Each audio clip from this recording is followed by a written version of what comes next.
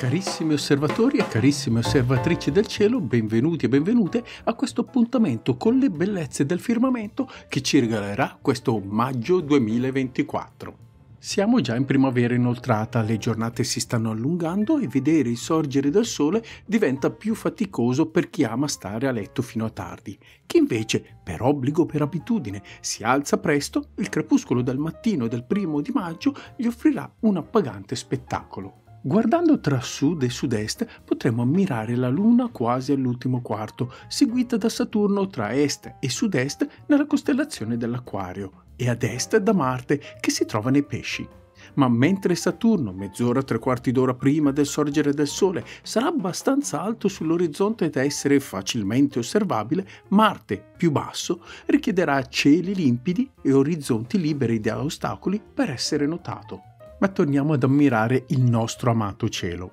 Alzando lo sguardo dal terzetto Luna, Saturno, Marte, di cui abbiamo parlato poc'anzi, notiamo facilmente che si stagliano quasi sulla verticale le tipiche costellazioni delle sere d'estate, la Lira, il Cigno e l'Aquila, con le loro belle e lucenti stelle, Vega, Denab e Altair.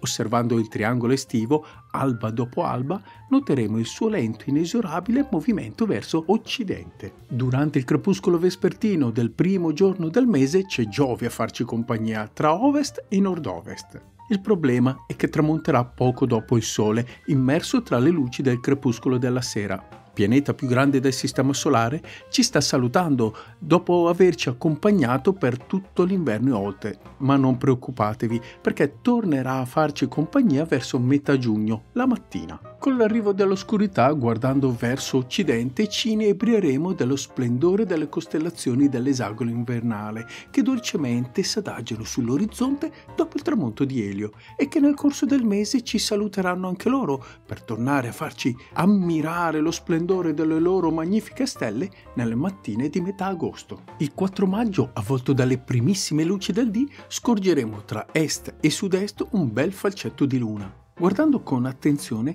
ci accorgeremo che in alto a destra del nostro satellite c'è il lucente Saturno, mentre a sinistra, più verso est, c'è Marte, che a debita distanza fa loro compagnia. Ma il pianeta che porta il nome del dio della guerra non rimarrà solo a lungo, perché la mattina successiva, il 5, un sempre più piccolo falcetto di luna gli sarà vicino. Tre quarti d'ora prima che il Sole faccia capolino all'orizzonte, i due astri disteranno poco più di un grado l'uno dall'altro. Un grado corrisponde a circa il doppio del diametro apparente della Luna piena. Per osservarli serviranno cieli davvero limpidi e liberi da ostacoli all'orizzonte. Marte è quell'astro di colore rosso in alto a destra della Luna. Popolo dei mattinieri è il vostro periodo, non solo perché questo e i prossimi mesi i pianeti ci faranno compagnia all'alba invece che al tramonto, ma anche perché domenica 5 e lunedì 6 maggio, prima che arrivino le luci del giorno, potremo tentare di scorgere qualche stella cadente è il periodo delle Eta Aquaridi, uno sciame meteorico originato dal materiale lasciato dalla coda della cometa più famosa, la 1P Halley. Il radiante, cioè il punto in cui sembrano originarsi le scie delle stelle cadenti, si trova nell'Acquario, che in queste mattine è di facile individuazione perché è la costellazione che ospita Saturno il massimo numero di meteore visibili, cospicuo ma non certo come quello delle Perseidi, le stelle cadenti di agosto per capirci, sarà intorno alle 23 del 5 maggio, ma a quell'ora l'acquario non sarà visibile in Italia.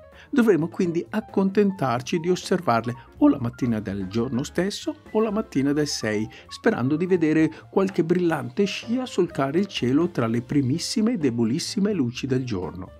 Il trucco principale per vedere le stelle cadenti è quello di guardare ad occhio nudo la più grande porzione di cielo possibile, orientandoci grossolanamente in questo caso verso est-sud-est.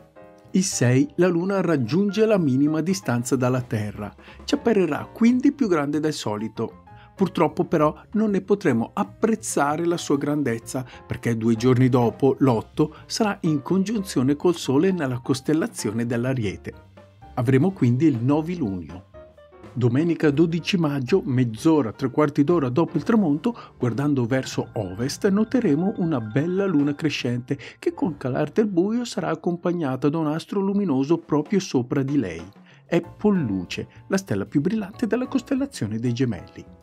Per chi non conosce il cielo, un buon metodo per identificare le stelle più luminose delle costellazioni zodiacali è quello di usare la Luna come indicatore insieme agli appuntamenti che vi sto dando in questo video. Sera dopo sera, mattina dopo mattina, vedremo Selene cambiare posizione in cielo, attraversando nel corso del mese tutte le costellazioni dello zodiaco ma la Luna, nel suo navigare nel firmamento, oltre a incontrare stelle e pianeti, talvolta si imbatte anche in ammassi stellari, facili da vedere ad occhio nudo, ma ancor meglio con uno strumento. È il caso dell'ammasso Alveare Messie 44, che si trova nella costellazione del Cancro e che vedremo in compagnia di Selene nella prima metà della notte del 13. Questa sarà un'ottima occasione per tirar fuori il binocolo e guardare la luna crescente insieme a questo raggruppamento di stelle. Non saranno necessari ingrandimenti elevati, anzi un 10 per sarà più che sufficiente per ammirare insieme i due oggetti del cielo. Il 14 maggio il Sole, che si trova a circa 151 milioni di chilometri dalla Terra, lascia la costellazione dell'Ariete per entrare in quella del Toro. Siamo arrivati a metà mese, la luna è al primo quarto nella costellazione del leone dove incontra Regolo. Durante la sera vedremo la stella più brillante del leone in basso a sinistra della luna. Due giorni dopo, il 17, Selene raggiunge l'apogeo, cioè la massima distanza dalla Terra, a ben 404.600 km, apparendo così più piccola del solito. Nel pomeriggio di giovedì 23 maggio cade il plenilunio con Selene che è già dentro i confini dello Scorpione. La fase di luna piena è sempre un'ottima occasione per ammirare il nostro satellite naturale che sorge in tutto il suo splendore tra le ultime luci del dì. Non è la notte migliore per scrutare gli oggetti meno brillanti del cielo e nemmeno osservare al meglio i crateri di Selene ma ciò di certo non toglie il fascino nel vederla levarsi dall'orizzonte con quella sua calda luce che diventa sempre più bianca e lucente man mano che s'alza in cielo, donando un po' di chiarore ai paesaggi terrestri che altrimenti sarebbero avvolti dall'oscurità della notte. Con la luna piena Selene passa dall'essere la regina della sera al diventare la regina della notte intera e nei giorni successivi dominare il cielo del mattino. E infatti per tutta la notte tra il 23 e il 24 la Luna sarà visibile in prossimità di Antares, la stella più luminosa dello Scorpione. Potremo seguire la danza di avvicinamento dei due astri per la notte intera fino a che raggiungeranno la minima distanza apparente poco prima del sorgere del Sole, quando dall'Italia saranno basse basse all'orizzonte verso sud-ovest ci appariranno molto vicine, a meno di mezzo grado di distanza, cioè a meno della distanza apparente della luna piena. In alcune regioni della Terra Antares verrà occultata dal nostro satellite. Osservando la Luna prima del sorgere del Sole, in questi ultimi giorni di maggio, dopo lo Scorpione la vedremo dentro i confini dello Fiuco, la cosiddetta tredicesima costellazione dello Zodiaco, poi tra le brillanti stelle del Sagittario, successivamente nel Capricorno e infine nell'Aquario, costellazione nella quale il 30 raggiungerà l'ultimo quarto e il 31 incontrerà di nuovo Saturno.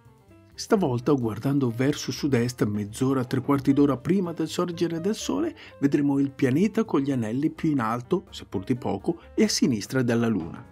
Ammirato l'incontro, potremo spostare la nostra attenzione verso est, notando così il pianeta rosso per antonomasia, Marte, che sarà più facile da osservare rispetto a inizio mese perché è più alto sull'orizzonte. E così anche il mese di maggio si è concluso in bellezza. Io sono Luca, se ti è piaciuto questo video metti un like e condividilo con gli amici. Se invece ti piace il cielo e non sei ancora iscritta o iscritto al canale, non ti resta che farlo.